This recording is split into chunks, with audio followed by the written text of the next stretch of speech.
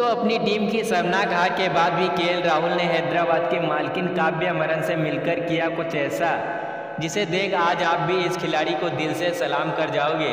जी हाँ दोस्तों, लखनऊ और हैदराबाद के बीच खेले गए रोमांचक मुकाबले में हैदराबाद ने लखनऊ को एक तरफा दस विकेट से हराकर इतिहास रच दिया।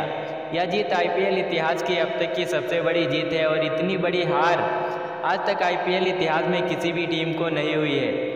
इस हार के बाद के राहुल की कप्तानी में लखनऊ की टीम के नाम सबसे शर्मनाक रिकॉर्ड भी दर्ज हो चुका है।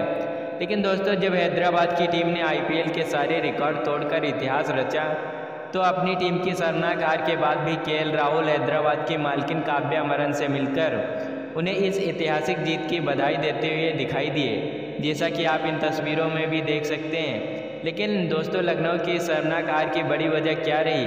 हमें कमेंट करके ज़रूर बताइएगा।